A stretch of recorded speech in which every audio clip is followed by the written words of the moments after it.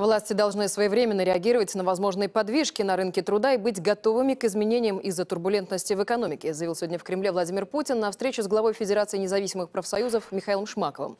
При этом президент отметил, что экономическая ситуация в целом находится под контролем. Путин также сделал акцент на том, что знает о наличии нескольких вопросов, которые волнуют профсоюзы. Ситуация у нас, э, с одной стороны, непростая, но что в то же время никаких, слава богу, катастроф не происходит. Трудности есть текущие, мы все их э, преодолеваем с лучшим либо с, с удовлетворительным результатом.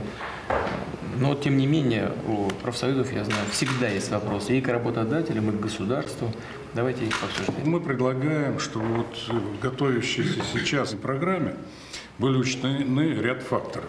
Ну, конечно, мы не забываем никогда про минимальный размер оплаты труда. К сожалению, за последнее время, за последние пару лет он только уменьшился по отношению к прожиточному минимуму. Во-вторых, у нас очень низкий уровень э, максимального размера пособия по безработице, который в два раза ниже, чем э, прожиточный минимум. Чтобы пережить эти трудные времена, надо увеличить верхний предел пособия по безработице. Мы своевременно должны реагировать на изменения на рынке труда. Это абсолютно точно и правильно. У нас действительно достаточно низкий, приемлемый абсолютно уровень безработицы, но с учетом этих э, турбулентных ситуаций в экономике мы, мы понимаем, что возможны подвижки, мы должны своевременно быть готовы к любым изменениям на рынке труда.